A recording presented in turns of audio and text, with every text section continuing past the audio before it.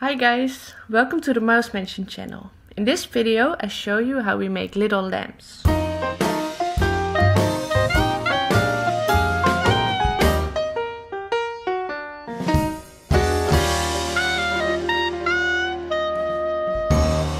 Okay, firstly you will need these free printables that you can download on our website for free, themousemansion.com. You will also need this, scissors and a bodkin, different shades of paint, a paintbrush, glue, thread, varnish or nail polish, buttons and beads, a little piece of lace or fabric, and a bottle cap. Warning, we are using some serious tools in this tutorial, so always use the help of an adult. Okay, now we can really start. Choose one or two little lamps that you like. I am choosing a plain one and this one with the flower print. Cut them out at this line. In the middle you will also see a black line.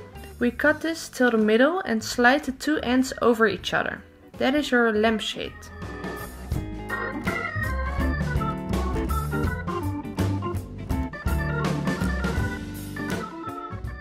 I give the inside of the lampshade a light yellow color with acrylic paint. And the upside is going to be blue, but you can choose every color that you like. While this dries, we continue with another lamp. Prick a little hole in the middle of the bottle cap and glue a piece of lace or fabric on the edges of the bottle cap. Like this and then give it some time to dry. Next we tie a little bead on a piece of thread and lace it through the hole in the bottle cap. Look, that's a little lamp. On the other side I lace a nice little charm and because we need to stick the lamp to the ceiling later, I tie a little button on the other side.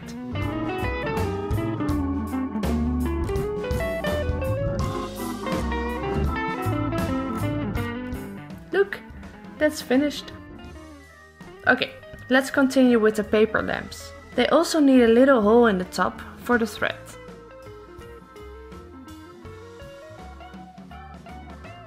To make the lamps look more realistic, like they are a bit rustic, I am painting the edges with some brown paint.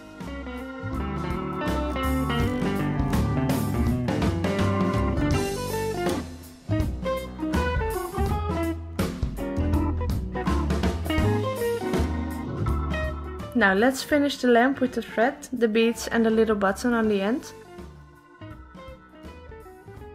And they are finished. Which one do you like the best?